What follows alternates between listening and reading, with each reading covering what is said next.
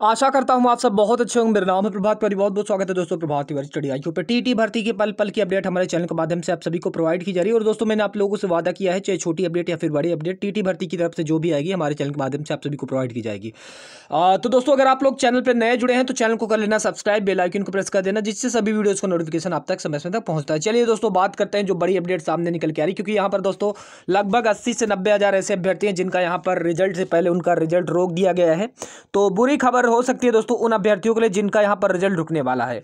आप सभी को पता है दोस्तों, टीईटी भर्ती में आप लोगों को ओएमआर सीट भरने के लिए थोड़ा सा यहाँ पर आप लोगों को बताया गया था कि कई सारी दिक्कतों का सामना करना पड़ सकता था और बहुत सारे अभ्यर्थी ऐसे थे जिन्होंने, जैसे आपको यहाँ पर अनुक्रमांक दिख रहा है और प्रश्न पुत्र प्रश्न पुस्तिका संख्या दिख रहा है और आपका बुकलेट नंबर है। इन सबको दोस्तों यहाँ पर फुल फिलअप नहीं किए थे।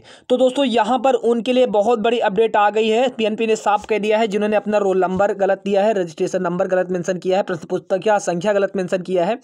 और अपनी कैटेगरी गलत मेंशन, कैटेगरी वाले तो भैया रिज़ल्ट आ जाएगा, ठीक है, लेकिन जिन्होंने बुकलेट नंबर और यहाँ पर अपना रजिस्ट्रेशन नंबर और यहाँ पर अंक्रमांक को गलत दिया है, उनका यहाँ पर रिज़ल्ट नहीं जारी होगा किसी भी कीमत पर।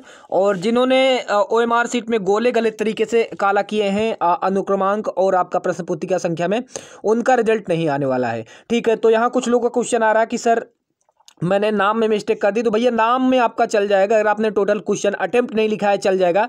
लेकिन पीएनपी ने साहब कहा है, अनुक्रमांक और आपका ये प्रश्न पुस्तिका संख्या और आपका रजिस्ट्रेशन नंबर अगर इन तीनों में से अगर आपने कोई भी गलती की है तो बिल्कुल आप लोग की कापी नहीं चेक होगी। ऐसा डेटा निकल के जो सामने आ रहा है, दोस्तों, लगभग अस्सी प्लस अभ्यर्थियों का रिज़ल्ट रुकने वाला है।